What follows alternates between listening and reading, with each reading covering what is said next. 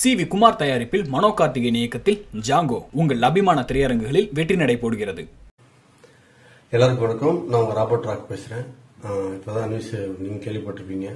மாநாடு மறுபடியும் தள்ளி வச்சுக்கிறாங்க. ஸோ இது யார் பண்றாங்க என்ன பண்றாங்கன்னு தெரியல. மனசார சொல்றேன். இது யார் பண்றாங்களோ அவங்க உருப்படவே மாட்டாங்க. சத்தியமா சொல்றேன். நான் இது வரைக்கும் இத்தனை வருஷம் நான் சினிமாவில் இருக்கேன். நான் யாரையும் வந்து திட்டது கிடையாது இது பண்ண கிடையாது. இப்போ உண்மையாக வயிறறிஞ்சு சொல்றேன். அவங்க நினைச்சுக்கிறாங்க இந்த படத்தை நிப்பாட்டுறதுல அதுல என்ன இதுல என்ன லாபங்க இந்த படம் தள்ளி போறதா என்ன வழி? எத்தனை பேரோட தொழில் எத்தனை பேரோட ஒர்க்கு ஒரு ஒரு பொண்ணு கல்யாணம் இந்த மாதிரிங்க இதெல்லாம். அதுல நடிச்சவங்க வேஸ்ட் அதுல லைட் பிடிச்சவங்க வேஸ்ட் எல்லாம் வேஸ்ட் பண்றீங்க. ஒரு மனுஷன் ஒரு படத்துல பிரச்சனை வரலாங்க. எல்லா படத்துலயும் பிரச்சனை வரணும்.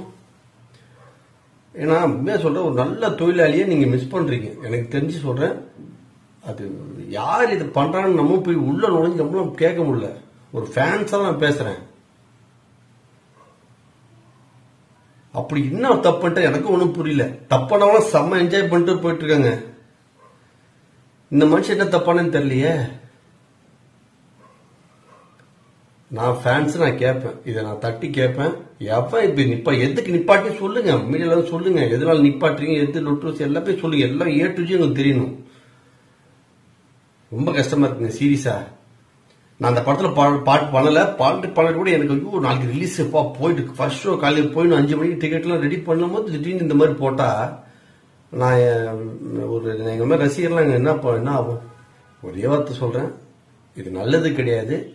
இது நிப்பாட்டுற உங்களுக்கு சொல்லிடுறேன். சினிமாவை அழிக்கணும்னு நினைக்காதீங்க. சினிமாவில் உள்ள ஆளுங்க அழிக்கணும்னு நினைக்காதீங்க. ஏதாவது பேசுங்க. எங்ககிட்ட பேசுங்க. யாரு யார்கிட்ட பேசணும் பேசி